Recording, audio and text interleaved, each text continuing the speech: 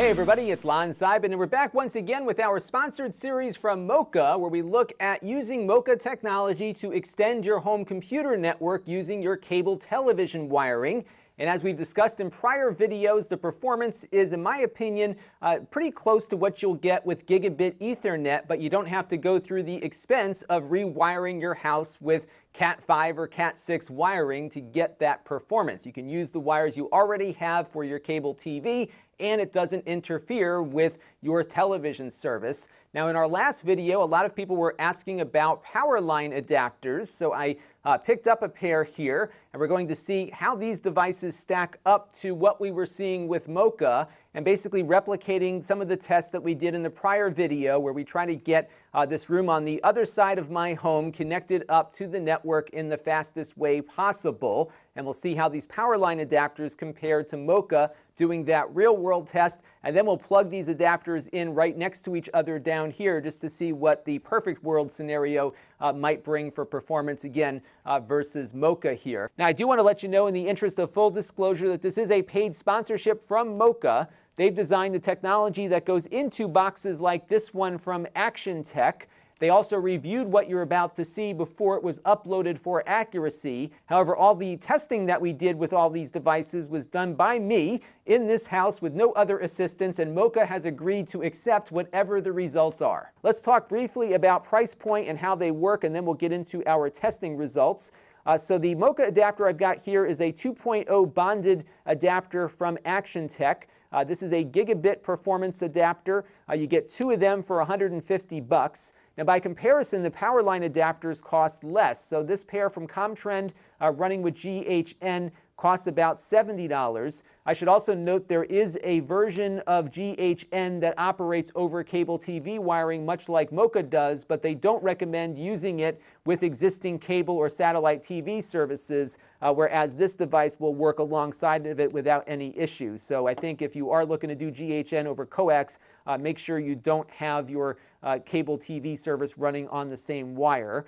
Uh, we also picked up this kit from TP-Link. Uh, these cost $50 for the pair, and like the, uh, the, the Comtrend adapter here, these work over your power lines. And uh, the way you hook these things up is actually very similar. So of course with the MoCA adapter, you plug one end into your cable TV wiring, this Ethernet jack into your router, you take another one and put it somewhere else in the house, connect it up to your cable TV wiring. You can then hook up a cable box or a TV to this port here, connect up your game console or computer on this side, and you've got your network extended. Uh, these work over the electrical wiring, so you plug one into an outlet, connect it up to your router, and then take another one and pop it in someplace else in your home.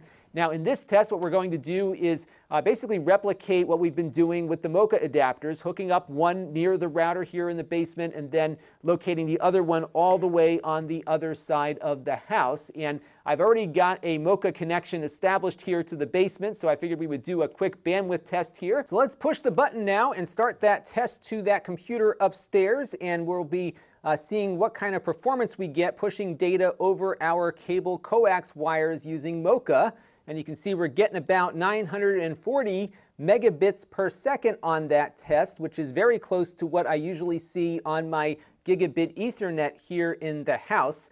Uh, we're doing something here called an iPerf test, which just saturates that network connection to see what the potential performance is. And as you can see here, we had a very steady stream of data uh, going very reliably at a very high rate of speed using those cable TV wires and not interrupting any of the cable television broadcasts also being consumed here in the house. Now this test simulated a download, so now we're going to go in here and reverse the test and have it upload to the computer in the basement here, and we'll see how we do on this test. And uh, my cable TV wiring in the house is not great. I've got a lot of extra splits and whatnot upstairs, and uh, this is not ideal wiring, but we're still seeing uh, really good performance here on the upload well over 800 megabits per second, and again, pretty close in line to what you might normally see with Ethernet, give or take. You might see a little bit better performance with a straight Ethernet connection here, closer to what we saw on the download test, but still very, very good here for a non-Ethernet solution. So let's move on now to our power line adapters, and we'll begin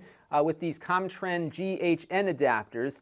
uh, these were not as fast. In fact, the best performance that I got up to that bedroom uh, was 50 or just about 50 megabits per second, 49.49 megabits per second when transmitting data down here to up in that bedroom. Uh, likewise, when we reversed the process from the bedroom back down to the basement, we were seeing speeds at about 47 megabits per second, so significantly slower, but it was reliable at least. We weren't dropping packets, the ping rate was looking reasonable, uh, so it was a reliable network connection, just not a very fast network connection, but we did get about the same speed in both directions. We did not, however, experience the same performance out of the TP-Link adapters when they were running that very similar configuration. So same outlets, same computers, same everything. The TP-Link only got 15.5 megabits per second when we were sending data from the basement to the computer in the bedroom, basically simulating a download. Uh, that is much slower than the gigabit speeds that they uh, printed there on the box. So certainly a big performance hit here versus the Comtrend and an even larger performance hit when compared to the MoCA adapter running that same test. Let's take a look and see exactly how these adapters can work in a perfect world scenario where they're plugged into the same circuit and we'll see what we can get for maximum bandwidth out of these things. I'm going to go retrieve that laptop from the bedroom. We're going to bring it right down here, plug it into my plug molding, and see what happens when these adapters are plugged in right next to each other. All right, so I've got our two Comtrend devices plugged into my plug molding over there. Uh, I have one of these alternate circuit plug molds, so every other plug is on a different circuit. So I put them both on the same circuit here just to make sure we had the perfect real world test. And uh, this was the result that we got here, about 150 megabits per second in, uh, I think, probably the most perfect environment we can get for these adapters here. So uh, that is about the best we should expect from these, I think. I'd love to hear if you've seen different results from these G.hn adapters, but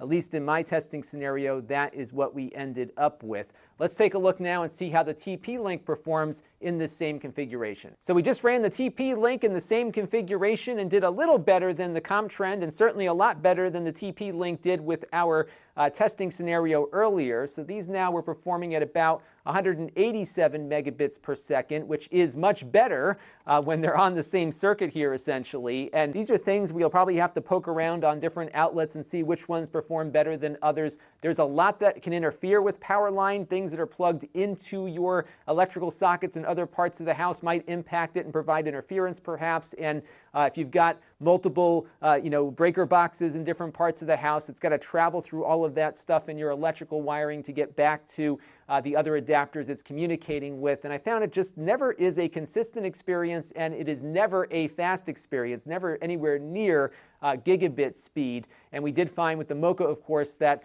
uh, it works pretty close to Ethernet when you are connected through your coax TV wiring. So there you have it, a real world comparison in my house at least as to how MoCA here compares to power line adapters. And you can see just how much faster uh, your coax TV wiring can be versus a power line connection. Uh, in all three cases, the network connection was stable, but again, we're seeing a lot more speed uh, out of the MoCA adapter here than we were over our power lines. And I think the best you're going to get out of some of these power line adapters is maybe 200 megabits per second if all the right conditions line up, whereas even in pretty poor wiring conditions like I have in my house, uh, we were getting a pretty consistent 900 megabits per second plus out of the MoCA. And why the bandwidth matters is because we're now consuming a lot more content from Netflix in high definition and certainly now in 4K and that will saturate connections. If you've only got 15 megabits per second coming down to this uh, TP-Link adapter here, that will impact the experience. Uh, whereas with MoCA, you've got a bigger pipe you can have more people on a Wi-Fi extender using MoCA technology, for example, that can share the bandwidth without impacting anyone else. And again, I've just found it to be, in my experience, a better solution. And I've been a, a longtime user of MoCA long before they became a sponsor on this channel. I think it's a very good technology. So let me know what you think down in the comments below, and we can maybe explore some things further. Uh, in the next video, we're going to look at configuring your MoCA network and setting one up from scratch. That one will be up in about a month or so. Until next next time, this is Lon Seidman. Thanks for watching. This channel is brought to you by the Lon.TV supporters, including gold level supporters of the Black Eyed and Blues Music Hour podcast, Chris Allegretta, and Kalyan Kumar. If you want to help the channel, you can by contributing as little as a dollar a month.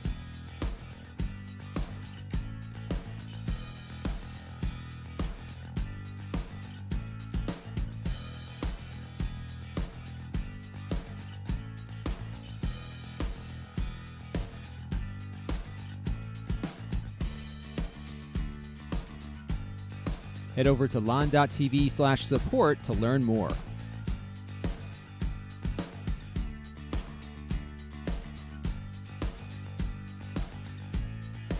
And don't forget to subscribe. Visit lon.tv slash S.